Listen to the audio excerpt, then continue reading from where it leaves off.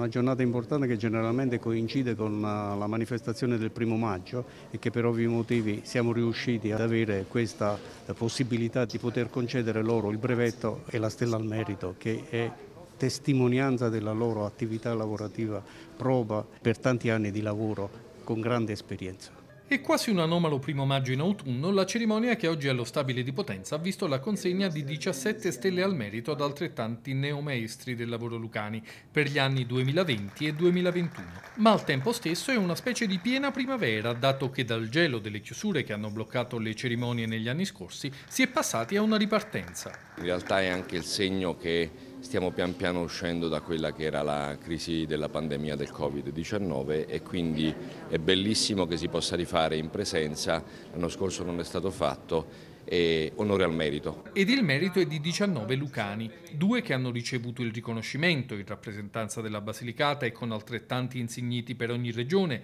lo scorso 10 novembre al Quirinale dal Presidente della Repubblica Sergio Mattarella, e cioè Carlo Maisto e Melchiorre Porretti. Altri 17 che la stella l'hanno ricevuta direttamente oggi alla presenza delle autorità regionali, provinciali e comunali tra loro quattro donne, Maria Teresa Berterame, Anna Caldarola, Concetta Lo Scalzo e Rosetta Porzia, e poi Vito Colangelo, Vito Pace, Gino D'Agostino, Lanfranco Ramaiola, Damiano Maragno, Antonio Braia, Vincenzo Lo Sasso, Alessandro Pontolillo, Rocco D'Andrea, Antonio Lancellotti, Gelsomino Padula, Pasquale Santarsiero e Canio Sileo, rappresentanti praticamente di tutti i settori produttivi, pubblici e privati. Lavoratori che dopo una vita di esempio e dedizione per gli altri hanno ottenuto, sia pure con qualche mese di ritardo, un giorno dedicato a loro. Siamo riusciti sulla indicazione data dal Ministero del Lavoro a organizzarla quest'anno, recuperiamo quindi il 2020 e il 2021.